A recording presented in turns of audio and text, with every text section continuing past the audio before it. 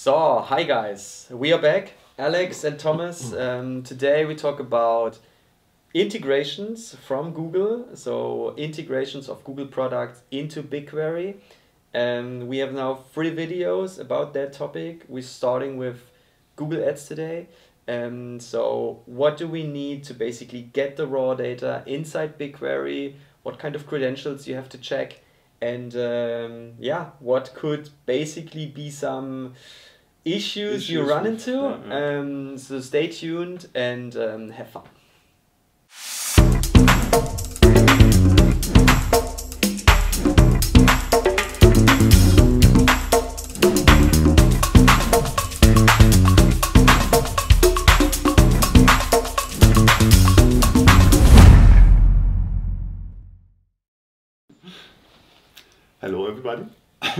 Hi, this is again Alex and Thomas, um, and today, as we said, we are talking about uh, connections from other Google products. And Yes. one of the main advantages um, we have using the Google Cloud Platform environment is that um, the connectivity to other Google products is quite good, and that's um, yeah one of the main advantages we see, um, and that's why today we talk about how to integrate um, other services like Google Ads, like Google Analytics. Um, yeah. So Alex, let's start with uh, Google Ads. Yes. How do I do that? Yeah. So Google Ads. So you uh, you can directly in your BigQuery um, uh, project or GCP project, you can um, just clicking on transfer data, um, and then you can already uh, when you have read access to your Google Ads account or to the Google Ads account you want to connect. Um, you can then yeah uh, uh, doing the settings. Um, for that you need to for sure set the custom id so that you get can get from the from the from your google ads account. Um, and then some other stuff. For example the refresh time. So uh, how often you want to get the new data. I think we use always daily um, as far as i know um, here, but for example, you also already have to check one thing. Uh, we had in some projects the um, problem when you set the wrong um, day, uh, the wrong time uh, in the day uh, when it's getting uh, should getting refreshed, then you get not the data from yesterday. Then you're getting the day um, just from yesterday, the day before. Ah, Okay, so Um, so what was then the wrong setting? So what did we do there? the time was too early. I think Ah, you said.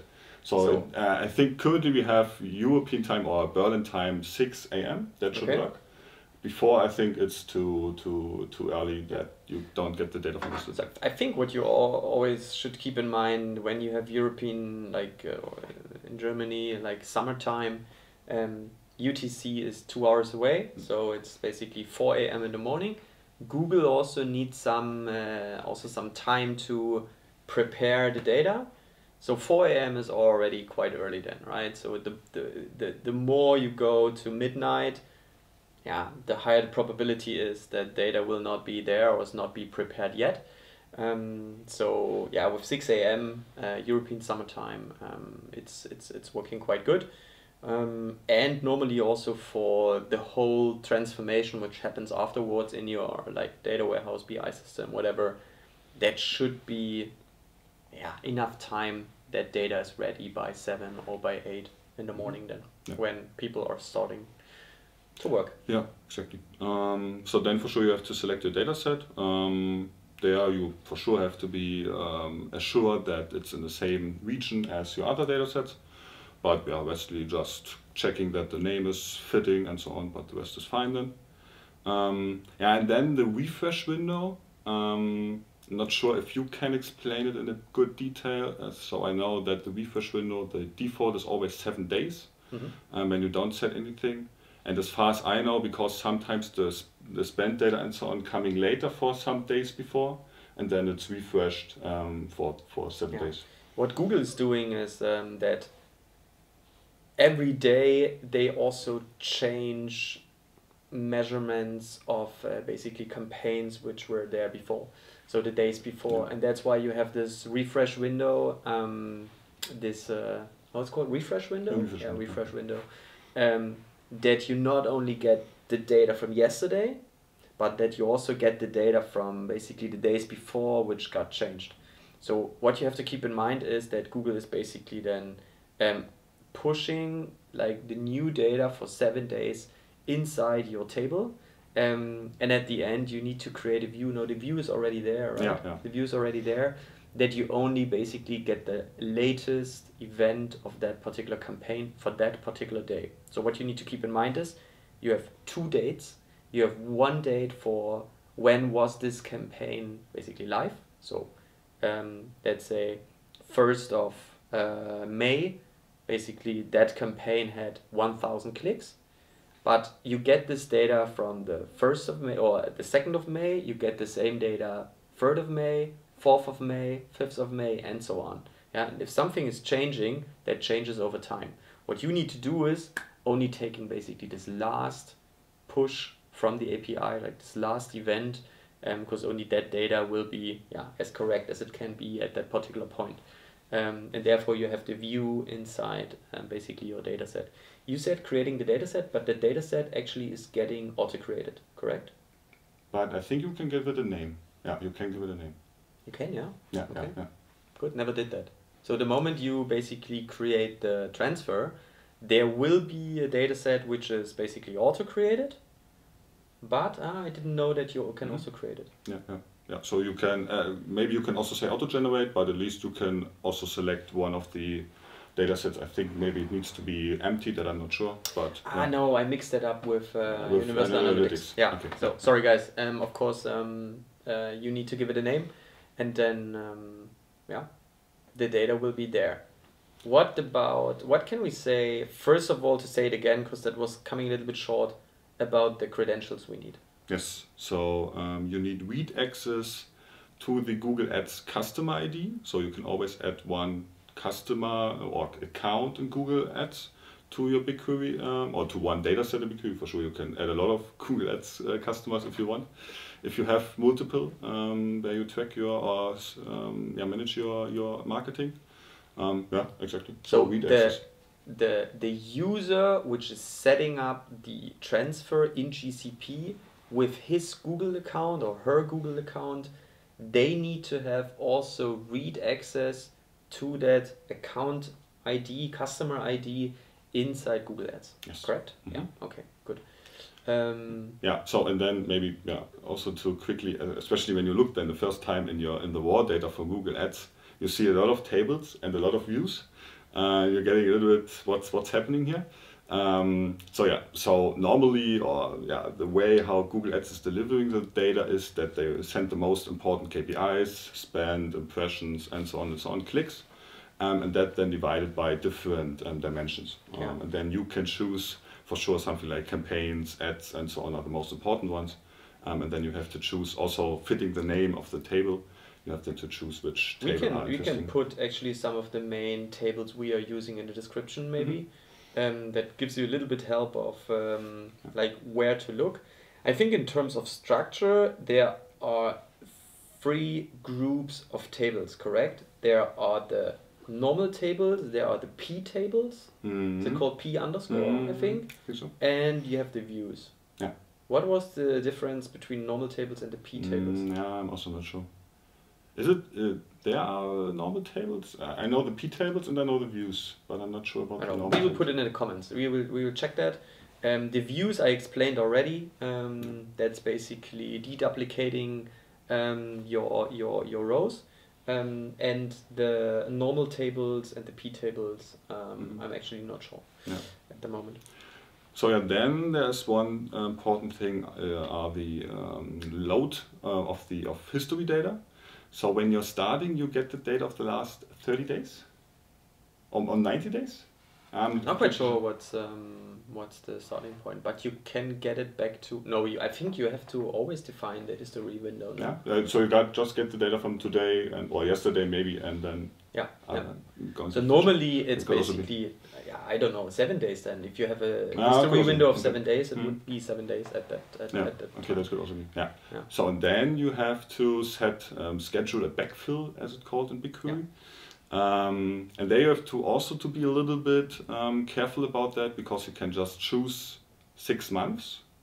Um, I think, and you also have to check, but that we can also, or I can show it in the screencast. Um, because yeah, which date you have to choose when you're adding new data to the from the from the from yeah from the past and so on. It's not so easy. Um, but yeah, so important is you can just get the in one backfill the data of the last six months. Yeah, and Um, I think the if you would like to have the get if you would like to get the data till the 30s in the backfill, I think you have to select till the first or the 29th. Right? Yeah, what, what, I also- was, what I- was the trick? I always have to check it. Uh, Yeah.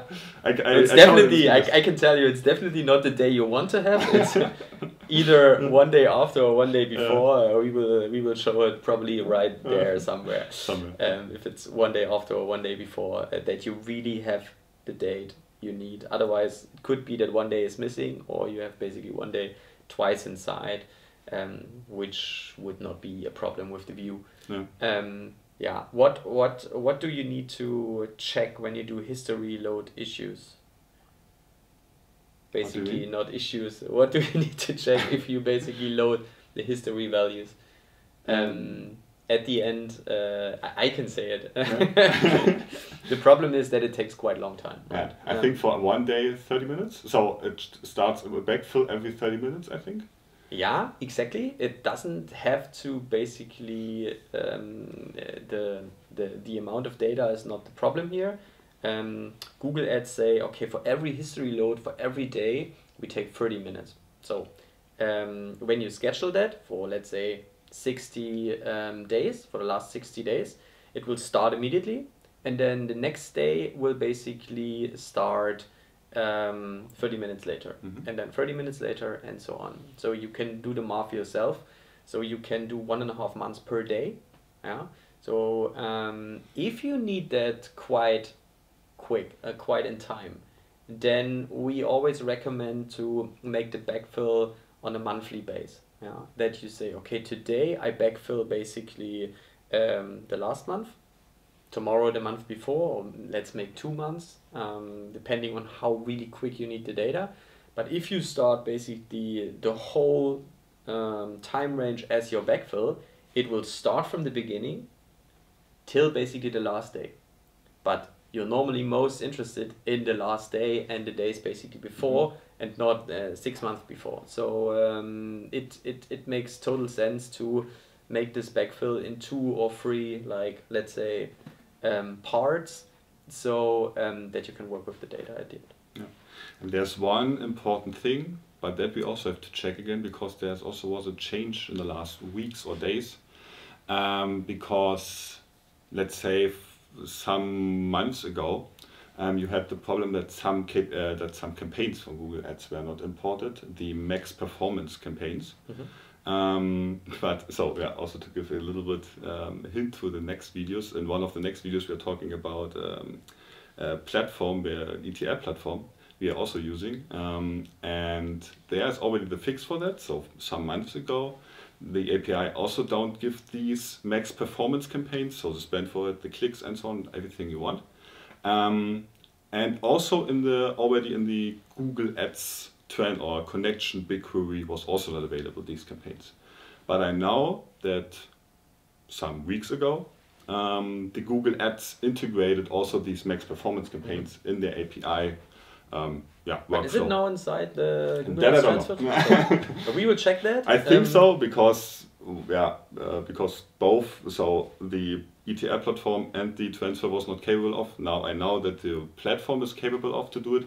I think also the Google Ads transfer, should be but, inside the transfer. but I'm not sure that we can also then check. Yeah, we will. We will definitely um, check it um, after the recording, and um, And maybe so yeah, what we did then because we we realized it in one or two projects I think um, that we then so and if they are still not there, what can be, um, then you can do a Google Ads um, G Sheet or uh, yeah G Sheet Google Sheet um, connection. So there you also need read access I think to the G Sheet uh, to the Google Ads account connected with the G Sheet, and then get all the campaign data and at least the most important data you need from the campaigns. Um, and then you have to add it to your BigQuery, and then you can union it and so on, and put it in the same structure. So a little bit more effort, but if you need these performance campaigns, max performance max campaigns, and they are still not in the transfer, um, then Yeah. we did it like but that. it will probably only be uh, fixed, which is for quite limited Yeah, amount of time, Maybe. if not already been Yeah, fixed, yeah. right? So um, yeah, what else do we need to say? Um, first of all, we talked about this like um, refresh window of seven days. Mhm. I think normally we have thirty days, which is the maximum. Yes. Um, it's a lot of additional data obviously so because every day you load like the whole 30 days look back window again into your database so the amount of data will basically definitely grow. Um, Did you realize that sometimes still after some uh, seven days that there are some KPIs? definitely yes. So we had projects where this was an issue. Um, we had seven days at the beginning and then we found out that the data was not matching to the um, google ads account. So i'm not quite sure what's really the trigger here and and and um, what basically drives this change of ad campaign let's say metrics after more than seven days but it can be that after a while google makes some corrections to their data and if you have your look back window like seven days or your yeah, look back window your Mhm. fresh window seven days and google makes a change of the data like 10 days after your data in your data warehouse will obviously not match basically the google um, ads data which is maybe not that problematic because normally we talk about some euros here Mm. um, I think it's also the bigger problems um, with the increasing of the amount of spend and so on, right? First of I all, so, yes, yeah. I think the biggest problem here is trust, Mhm. right? The moment the ads manager sees there is a number of clicks, views, impressions, I don't know, in Google Ads, and they see in your internal analytical system, like your data warehouse, um, whatever, um, the, the numbers are not fitting, are not, not, not, not matching, then they immediately think, okay, why is there a difference, right? And this is the main reason the data should be 100% correct. Mm. It will not completely change your ROAS or your, your I don't know, um, yeah, Yeah, yeah. CPO. Okay, yeah. So refresh uh, window we had, then uh, history backfill important. Um, so there the six months and so on, and every um, 30 minutes you get a new day or starting a new day importing. Um, yes, and then setting up everything, but that's quite easy. There's also good documentation on Google side. Um, yes, to do it, and you need read access to your Google to the Google Ads uh, ID.